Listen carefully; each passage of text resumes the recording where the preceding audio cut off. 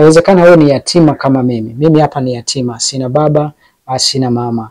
Uh, wazazi wangu wote walitoweka wali, wali, wali, wali uh, katika dunia hii, lakini namshukuru Mungu katika hali ya uyatima. Lakini nisema hapana, wale ni wazazi walifight kwa kiasi, kwa, kwa level yao, walifight kwa muda wao.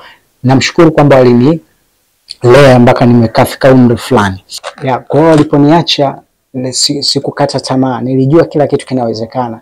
Kuna mayatima wangapi sasa hivi ni matajiri katika dunia hii, iweje mimi nisiwe?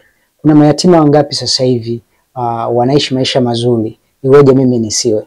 Niliamini tu wale ni wazazi, wameishi kwa muda wao, wametulea kwa muda wao, wametumia muda wao. Tunamshukuru Mungu kwamba walitulia salama, lakini kutia moyo ya yatima ambaye umefiwa na baba yako, umefiwa na mama yako, na umekuwa hujui utafanya nini, hujui utafanya kitu gani. Uh, maisha yako kila ukiangalia mbele unaona ni giza nene, kila ukitazama kulia na kushoto huo ni msaada wote. Rafiki yangu, kitu cha kwanza mimi nilichokifanya nilimwamini Mungu.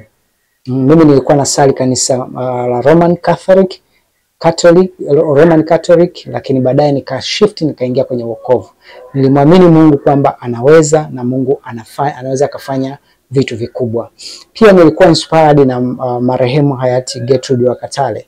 Uh, Gertrude wa Katale alikuwa na maneno mazuri sana ya kutia moyo wewe uh, ili uinuke kutoka sehemu moja hadi sehemu nyingine. Mafundisho yake yamenijenga sana, mafundisho yake yameniinua sana, na imani aliyokuwa nayo aliyokuwa anaambukiza kwa watu aliniambukiza mimi kwa asilimia kubwa. Nakumbuka kuna mwaka fulani, sikumbuki ilikuwa ni mwaka gani, lakini kwenye dayari yangu niliandika, alisema ninatamani mwakani kila mtu akaishi kwenye nyumba yake. Lile neno liliuma, ilikuwa ni neno fupi sana. Alisema natamani kila mtu mwakani akaishi kwenye nyumba yako, nyumba yake. Uh, akatuambia tena uh, ninaomba sasa uh, uh, uh, uh, uchukue ufunguo wako uh, uchukue ufunguo wako uweke ufuashum, kama unafungua mlango unaingia kwenye nyumba yako. Ashum sasa unaingia kwenye nyumba yako, unakaa kwenye kochi lako. Ashum sasa ndio unafungulia ile TV kwenye nyumba. Yale maneno kwa kweli yalinitia nguvu, yaliniwezesha mwaka ule uh, kipindi kile kile nikaanza kufight uh, kutafuta njia za kuweza kufanikiwa, njia za kuweza kujenga nyumba, njia za kuweza kupata kiwanja, njia za kuweza kuwapata mafundi. Nikatuma, nikahangaika huku na huku na huku. Namshukuru Mungu, ndoto ile imewahi kutimia, imeweza kutimia na sasa tuko hapa Tegeta. Mungu akubariki sana. Lakini kuna pia kuna watu ambao wananiinspire mpaka sasa hivi. Nikimwangalia uh, mchungaji Masanja mkandamizaji, um, ananiinspire sana kwa vitu anavyovifanya. Umri mdogo Okay, umri unaweza kuwa si mdogo sana lakini um, ni bado kijana sana, lakini vitu anavyovifanya vinaniinspire sana, hasa katika swala la kilimo. Nami nimeanza kumwiga Masanja, nimeanzisha shamba langu la uh, Bagamoyo. Mungu ametupa eneo pale Bagamoyo, tumenunua eneo pale kama eka mbili. Kwa hiyo mimi sijigambi, ila ninakuinspire, ninakuonyesha kwamba hivi vitu vinawezekana.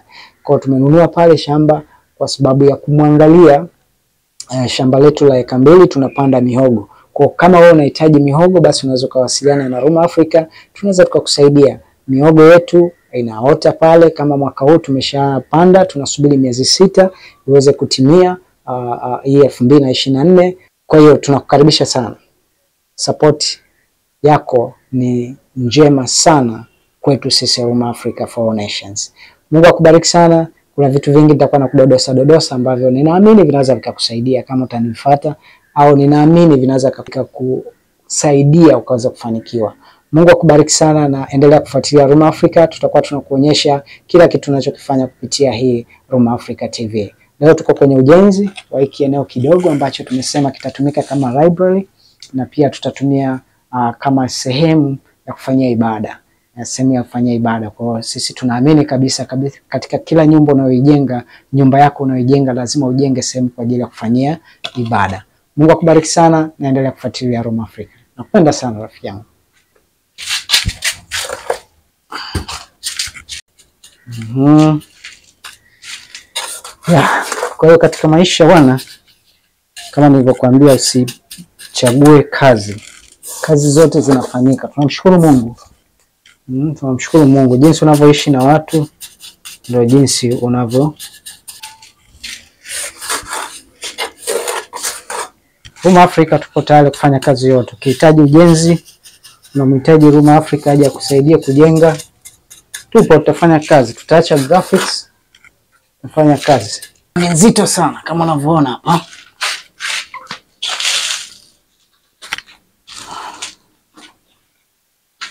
Mm.